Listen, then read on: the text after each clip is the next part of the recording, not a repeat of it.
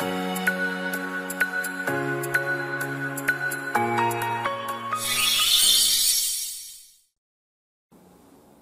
い、こんにちは、レトスノーです。今回なんですけども、遺留分侵害額請求権の期間制限について解説いたします。えこの内容っていうのは、まあ、条文自体それほど、まあ、難しくないっていうのが、条文では、まあ、2行ぐらいですかね、すごく短い、え条文になっております。ただ、内容をちょっとじっくり見てみると、え勘違いしやすい部分っていうのかな、理解しづらい部分がありますので、まあ、その点を今回解説していこうと思います。で、まず、遺留分侵害額請求権の期間制限なので、まあ、ある一定期間が過ぎると、遺留分侵害額請求ができなくなりますよっていう話なんですね。で、どういった場合に遺留分侵害額請求ができなくなるかというと、下記1に1番2番のどちらか一方を満たすと、遺留分侵害額請求権は時効によって消滅しますよ。っていうふうに条文では規定しております。じゃあ1番2番って何なのかというと、まず、まあ、2番の方が分かりやすいんで、2番から先に行きます。相続開始から10年を経過すると、もうこれは自動的に遺留分侵害額請求することができなくなっちゃうんですね。例えば私が遺言によって私の相続財産すべて第三者に遺贈するよ。まあ、そういった遺言をしたと仮定します。まあ、そういった場合、私の配偶者っていうのは遺留分を持ちますんで、私の配偶者は、その遺贈によって、私の相続財産を全部もらった人に対して、その第三者に対して、遺留分侵害額請求をすることができるんだけれども、相続の開始があってから10年が経過してしまったら、配偶者はその第三者に対して、遺留分を返してくださいっていうふうに請求することができなくなるよっていう話です。で、難しいのが1番なんですね。1番はどういった内容かっていうと、遺留分権者が相続の開始及び遺留分を侵害する贈与、または遺贈があったことを知ってから1年間行使しないとき、この場合も遺留分侵害額請求は時効によって消滅するんですね。で、この部分がややこしいんですよ。知ってから1年間行使しないとき、まあこれはわかるじゃないですか。ただ、この部分がちょっとわかりにくくて、これを分解すると、左側と右側に分けることができます。で、このおよびっていうのは、これどちらもっていうことなので、左側、右側、どちらも知った、その時から1年間行使しない時に、権利は消滅するよっていう話なんです。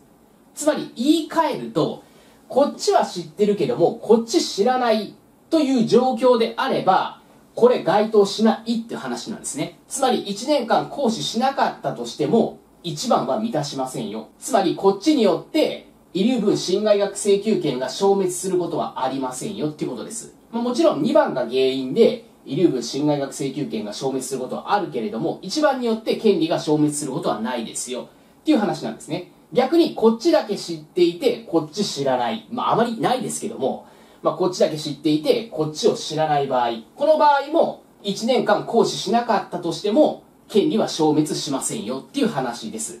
つまり、この2つ、左側と右側、どちらも知って初めて、1年間のこの時効期間が進み出しますよ。進行し始めますよっていう話なんです。ここまでまず OK でしょうかで、続いて、右側です。こっちについては、これまたはとなっているので、どちらか一方でも知ったら OK なんですよ。つまり、相続開始と遺留分を侵害する贈与。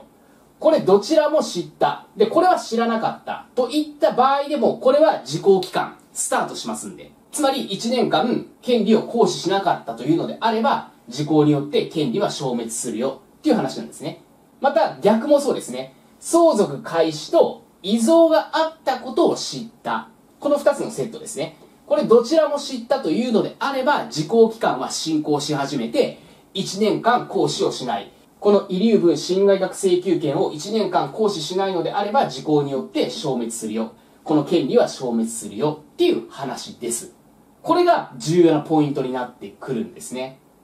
で引っ掛け問題とかでも引っ掛けやすいんですよ。この相続開始のことだけ知って1年間この権利を行使しなかった時時効によって遺留分進学学請求は消滅する。丸か×かってなったら、それは×ですよね。こっちしか知らないわけだから、それだけで時効消滅するわけじゃありませんよっていう話です。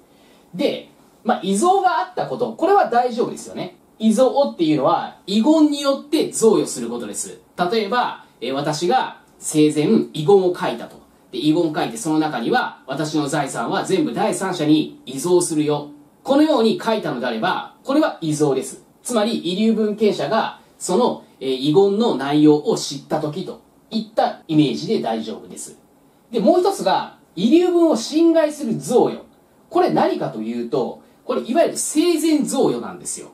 私が死亡する前に第三者に何かしらお金を贈与していた。不動産を贈与していた。そういった内容なんですね。で、ちょっと細かい話をすると、相続人以外の第三者については、相続の開始前1年以内に贈与があったものが対象です。つまり2年前に私が第三者に対して100万円贈与していたというのであれば、それについてはこの生前贈与には入りません。これには入りません。また、相続人に対しては10年以内に贈与したもの。例えば、私に子供がいて、5年前に結婚資金として100万円を贈与していた。まあ、こういった場合、相続人に対しては10年以内のものが対象になってくるので、この場合は遺留分を侵害する贈与に当たる可能性があるんですね。まあもちろん、その生前贈与があったからといって、それで直ちに遺留分を侵害するわけではありませんよ。今の事例で言うと、私は子供に100万円しか贈与していないわけですよね。私が例えば1億円の財産を持っていて、まあそのうち100万円を贈与したというのであれば、それはおそらく遺留分を侵害する贈与には当たらない。つまり遺留分を侵害しないわけですね。1億の財産を持っていて、配偶者、子供1人だった場合、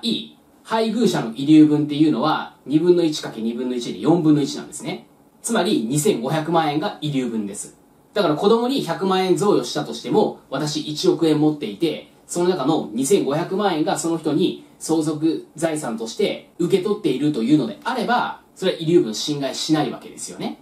なので、あくまでも対象は遺留分を侵害する贈与ということになります。で、この贈与については、相続人以外のものについては、相続開始から1年以内に贈与したもの。また、相続人に対しては、相続開始から10年以内に贈与したもの。これが対象になってきますよっていう話です。まあ、ただここまでは覚えなくてもいいです。とりあえず頭に入れていただきたいのは、ここの内容なんですね。このおよびとまたはのこの意味ですよね。ここをしっかり頭に入れていただくことが重要なんで、今の具体例については、まあ、補足的にですね、え、頭に入れるぐらいで大丈夫です。また、この1年と10年、これは絶対頭に入れておいてくださいね。まあ、これは覚えている方意外と多いと思いますが、ここはもう丸暗記で大丈夫なんで、丸暗記で頭に入れておきましょう。今日も最後まで動画をご覧いただきましてありがとうございました。宅建合格目指して一緒に頑張っていきましょう